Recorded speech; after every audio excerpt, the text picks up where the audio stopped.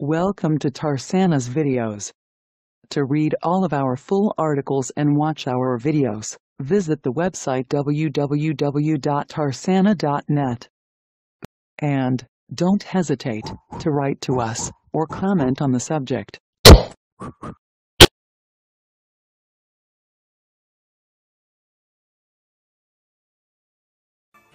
سبق وأن نشرنا على موقع ترسانة دوت نت في عام 2006 مقال يتناول برنامج المقاتلة المشتركة بين إسلام آباد وبكين بعد 16 عاما باتت هذه الطائرة إنتاجا واقعيا بعد أن دخلت الخدمة في عدة قوات جوية. وهي قد بلغت النضوج الآن بعد التطوير المتواصل لها. تندر أو الصاعقة هي طائرة مقاتلة متعددة المهام خفيفة الوزن أحادية المحرك. صممت أساسا لتلبية احتياجات القوات الجوية الباكستانية فهي رخيصة الثمن حديثة ومتعددة المهام. وسوف تستبدل باكستان بها. أسطولها الضخم من طائرات شنغودو جي سبعة وميراج ثلاثة أو خمسة ومن الممكن أيضا أن تصدر لدول أخرى بسبب هذه المميزات فهي تعتبر أرخص من المقاتلات الغربية وقعت الصين وباكستان عقدا في عام 1999 لتصميمها وكان العمل بطيئا لصعوبة الحصول على حزمة إلكترونيات الطيران والرادارات اللازمة من أوروبا. ولكن تم تصميم جسم الطائرة بدون الإلكترونيات اللازمة في عام 2001 بعد ذلك تم تصميم الطائرة بالكامل وتم أول تحليق لها في عام 2003 وعدل التصميم في عام 2006 وبدأت تجري عمليات تحليق تجريبية في عام 2007 وتم تسليم أول سرب منها وكان عبارة عن 14 طائرة إلى باكستان في الثامن عشر من فبراير 2010 التصميم النهائي أثر بشكل خاص على تصميم الأنف والذيل تم استخدام النموذجين الأخيرين لاختبار إلكترونيات الطيران وتكامل التسلح. تم تسليم النماذج الأولية إلى القوات الجوية الباكستانية في عام 2007 للتقييم. في نفس العام تم تقديم أول عرض طيران رسمي للمقاتلة في إسلام آباد تبلغ تكلفة البرنامج حوالي 500 مليون دولار أمريكي مقسمة بالتساوي بين البلدين. ستكلف مقاتلة JF 17 حوالي 15 مليون دولار لكل طائرة. لكن تقديرات تشير إلى أن بورما اشترت طائرتها مقابل 35 مليون دولار. أكدت القوات الجوية الباكستانية طلب 150 طائرة مع خيار لإجمالي 250 طائرة. وأعلنت عن إنتاج 16 مقاتلة في عام 2015 ليتم زيادتها إلى 20 طائرة مقاتلة في عام 2016 تمت ترقية الطائرات إلى معيار block أثنان الذي يشتمل على ذراع للتزود بالوقود أثناء الطيران. ومجموعة جديدة من إلكترونيات الطيران لتوسيع مجموعة الأسلحة من الجو سطح على متن الطائرة. معيار ال block ثلاثة هو حاليا قيد التطوير في الصين. يجب أن يتضمن هذا الإصدار محركا صينيا جديدا ورادار هواء نشط ونظام مراقبة بصري بالأشعة تحت الحمراء ومشهد خوذة ونظام تحكم كهربائي في الطيران جديد. لاقت الطائرة الحربية الباكستانية بعض النجاح في التصدير. من بين الدول التي اقتنتها إضافة إلى القوات الجوية الباكستانية سنجد مثلا بورما التي اشترت منها 16 طائرة وتم تسليم ستة طائرات في عام 2018 أما نيجيريا فقد استلمت ثلاثة منها حتى الآن بقسمة 16 مليون دولار. هنالك دول أخرى أبدت اهتماما بهذه الطائرات منها سريلانكا وبوليفيا والأرجنتين.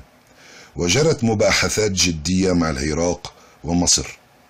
واستنادا إلى موقع سوهو الصيني هناك مباحثات حول إمكانية شراء مصر لهذا الطراز من المقاتلات وإنشاء خط إنتاج وتجميع محلي لها بمصر على خطوط إنتاج طائرات كي ثمانية التي تنتجها مصر بترخيص من الصين.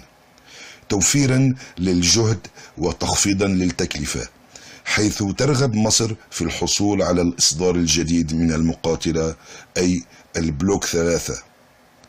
وذكر الموقع الصيني إنه في حال إتمام هذه الصفقة فستكون بلا شك بمثابة فرصة لفتح سوق جديد لهذه المقاتلة في منطقة الشرق الأوسط.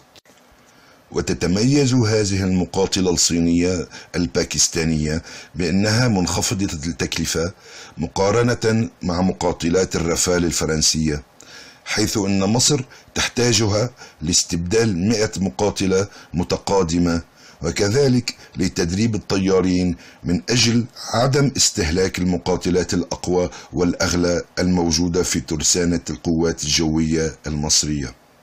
بني هيكل الطائرة في الأساس من سبائك الألومنيوم وعلى الرغم من أنه تم وضع خطط لتقليل وزن الطائرة عن طريق استخدام مواد مركبة إلا أنه تم استخدام سبائك الألومنيوم وأيضا التيتانيوم في بعض الأجزاء المهمة في جسم الطائرة. والعمر الافتراضي للهيكل هو 4000 ساعة طيران أو ما يعادل 25 عاما. الأجنحة مثبتة من منتصف جسم الطائرة وهي تشبه الشكل دلتا ومزودة بمجموعة من الملحقات التي تولد دوامة لديها القدرة على توفير المزيد من الدفع لرفع أجنحة الطائرة خلال المناورات القتالية. تستخدم الطائرة حزمة من البرمجيات مكتوبة في أكثر من مليون سطر من التعليمات. كتبت باستخدام لغة C++ المدنية. فهي تتيح مجموعة أكبر من التطبيقات لاستخدامها تحتوي قمرة القيادة على نظام طيران إلكتروني ونظام لعرض المعلومات أمام الطيار على زجاج قمرة القيادة تحتوي أيضا على نظم اتصالات يمكنها أن تصبح جزءا من شبكة عسكرية لجمع المعلومات وتركيز الهجمات على الهدف. يتكون الطاقم من طيار واحد وطول الطائرة هو 14 مترا. بينما المسافة بين الجناحين هي 9 أمتار فاصلة 45 سنتيمترا. الارتفاع 4 أمتار و77 سنتيمترا. مساحة الأجنحة 24 مترا مربعا. الوزن فارغة 6411 كيلوغراما. الوزن محملة 9100 كيلوغرام أقصى وزن عند الإقلاع يبلغ 12700 كيلوغراما. بينما سعة الوقود الداخلية فتبلغ 2300 كيلوغراما. تبلغ السرعة القصوى للطائرة 1.8 ماخ أي ما يعادل 2200 كيلومتر في الساعة. ويبلغ المدى العملياتي للطائرة 3480 كيلومترا أقصى ارتفاع لها هو 16920 مترا. بينما النسبة بين الدفع والوزن فتبلغ 0.95 هي مسلحة بمدفع من عيار 23 ملم وتحمل حوالي 3629 كيلو جراما من الأسلحة المتنوعة بين صواريخ الجو جو وجو أرض والقنابل ويمكن حملها على سبع نقاط تعليق. يمكن للطائرة أن تحمل ثلاثة خزانات إضافية للوقود واحد تحت جسم الطائرة سعة 800 لتر واثنين تحت الأجنحة سعة 1100 لتر If you like this content, Then support us by pressing the thumb button. Share and subscribe to the channel to be informed of new publications. And don't hesitate to write to us or comment on the subject.